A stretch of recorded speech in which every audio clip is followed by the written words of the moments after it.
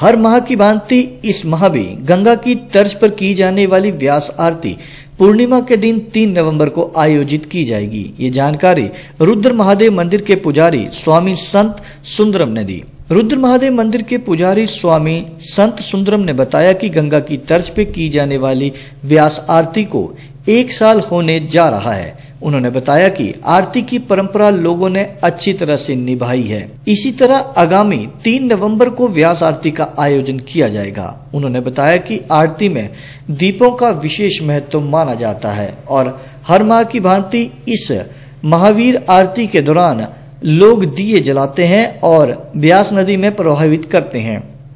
साथ ही उन्होंने बताया कि सत्यनारायण की कथा का आयोजन भी उसी दिन चार बजे शुरू किया जाएगा, जो छह बजे जाके खत्म होगा। इसके पश्चात छह बजे आरती का आयोजन किया जाएगा। उन्होंने लोगों से आग्रह किया कि वे व्यास आरती में बढ़ चढ़कर भाग लें।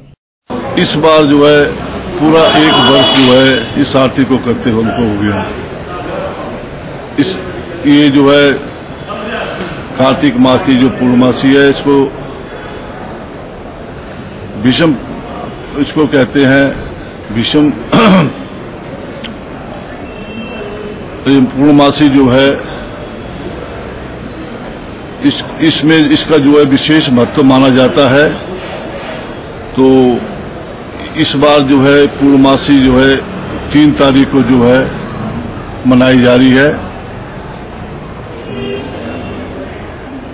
भीषम पंचक जो है, अपना एक विशेष महत्व रखते हैं।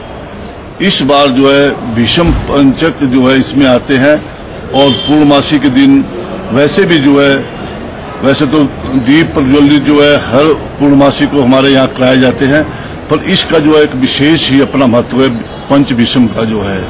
इसमें जो है दीपक तारने का, भगवान की सत्यनारायण की कथा सुनने का अपना एक अलग ही एक महत्व है।